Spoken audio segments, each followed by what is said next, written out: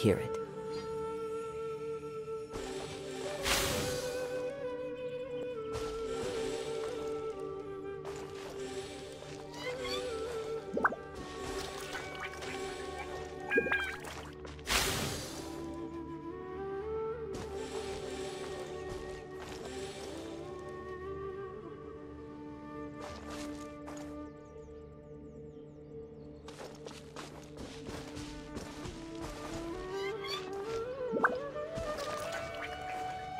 you